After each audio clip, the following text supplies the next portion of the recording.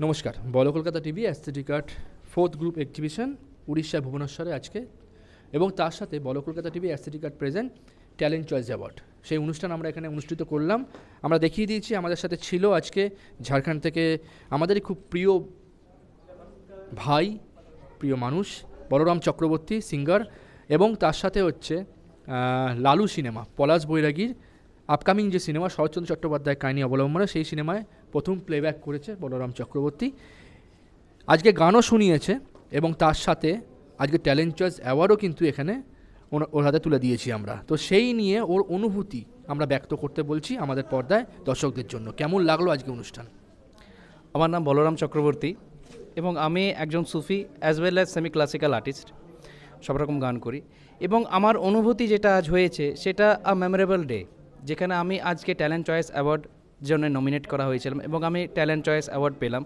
তার জন্য আমি অসংখ্য ধন্যবাদ জানাতে চাই অ্যাস্থেটিক গ্রুপকে এবং আমাদের বলো কলকাতার টিমকে যে তারা আমাকে ইনভাইট করলেন এবং নমিনেট করলেন এই ট্যালেন্ট চয়েস অ্যাওয়ার্ডের জন্য। So it's a memorable day এটা আমার জন্য একটা মেমোরেবল ডে যেটা আমি কোনোদিন ভুলতে পারব না। সেটা তো হলো, গান তো শুনছি সবসময়। তোমাকে দেখলেই যেন কেন মনে হয় যেন গান শুনি। একটা লাইন হয়ে যাক না যে কোনো গান সুফি দিয়ে। हीरे मोती,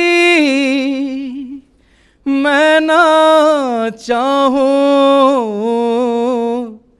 मैं तो चाहूँ संगम तेरा, मैं तो तेरी सैया, तू है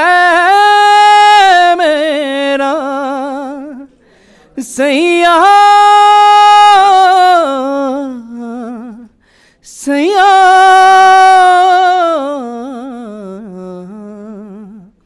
तू जो छूले प्यार से आराम से मर जाऊँ आजा चंदा बाहों में तुझ में ही गुम हो जाऊं मैं तेरे नाम से खो जाऊं सैया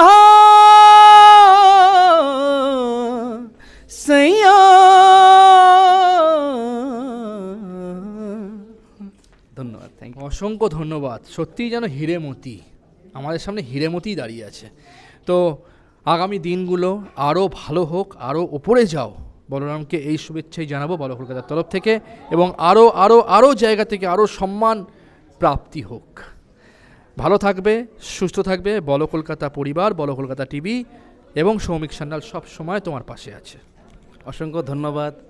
ইনি আমার একদিক থেকে মামা শ্রমিক মামা, যাকে বলা হয় আমার নিজের তো এনাকে আমি অসংখ্য ধন্যবাদ জানাতে চাই। ইনি আমাকে প্রত্যেক মোমেন্টে হেল্প করেন এবং বলো বলো বলো কলকাতা চ্যানেল যে সব জিনিসটা কভার আপ করে এবং হেল্প করে সব জিনিস, সব আর্টিস্টকে কভার আপ করে আর্টিস্টদের হেল্প করা হয়, এটা একটা বিশাল ব্যাপার। একটা প্ল্যাটফর্ম দেওয়া হয় আর্টিস্টদের তাদেরকে পারফর্ম করার জন্যে, এটাও একটা বিশাল ব্যাপার। তো তার জন্য আমি বলো কলকাতাকে অসংখ্য ধন্যবাদ জানাতে চাই এই আর্টিস্টদেরকে একটা প্ল্যাটফর্ম দেওয়ার জন্য এবং প্ল্যাটফর্ম থেকে তাদেরকে পাবলিশ করার জন্যে। তো স্পিচলেস অসংখ্য ধন্যবাদ। আমরা শোনালাম ওর কথা, চলে যাচ্ছি পরবর্তী পর্যায়ে। আবার কখনো না কখনো বল কলকাতার পর্দায় বলরাম আসবে। নমস্কার, বল কলকাতা থেকে আমি সৌমিক, সাথে রানা। নমস্কার।